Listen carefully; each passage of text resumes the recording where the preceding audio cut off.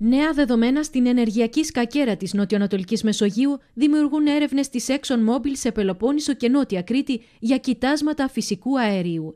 Η Ναυτέξ που εκδόθηκε από τον σταθμό Ηρακλείου προβλέπει ότι από 8 Νοεμβρίου μέχρι και νεοτέρας δεσμεύονται περιοχές σε Ιόνιο Πέλαγος, Δυτικό Πέλαγος, Δυτικά και Ανατολικά της Κρήτης, ώστε το πλοίο να πραγματοποιήσει ανάπτυξη εξοπλισμού και σεισμικές έρευνες. Έχει ξεκινήσει το πλοίο. Αυτή τη στιγμή απλώνει θα λέγαμε τα καλώδια αυτά τα οποία σέρνει με τα υδρόφωνα, με τα ακουστικά όπου λαμβάνει επιστροφή των κυμάτων για να μπορέσει να προσδιορίσει τις ε, δομές τις γεωλογικές.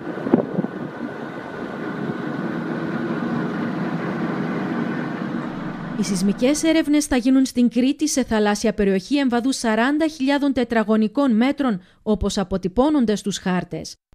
Η πλειοψηφία των δικαιωμάτων έρευνας ανήκει στην ExxonMobil, η οποία ύστερα από την αποχώρηση της γαλλικής Total Energies ελέγχει το 70% των δικαιωμάτων, ενώ το υπόλοιπο 30% ανήκει στην Hellenic Energy.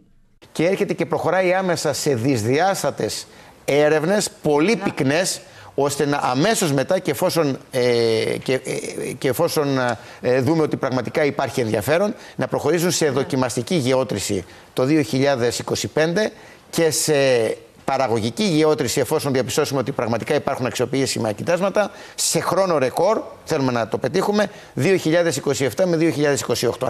Το ερευνητικό πλοίο Sanko Swift θα ξεκινήσει άμεσα εργασίες. Το κοίτασμα, το οποίο πιθανολογούμε ότι υπάρχει νοτιοδυτικά της Κρήτης και της Πελοποννήσου, ίσως είναι η τελευταία ελπίδα που έχει η εξορρυκτική βιομηχανία για να βρει μεγάλο κοίτασμα φυσικού αερίου στην περιοχή της Ανατολικής Ευρώπης, τόνισε ο Υπουργός Περιβάλλοντος.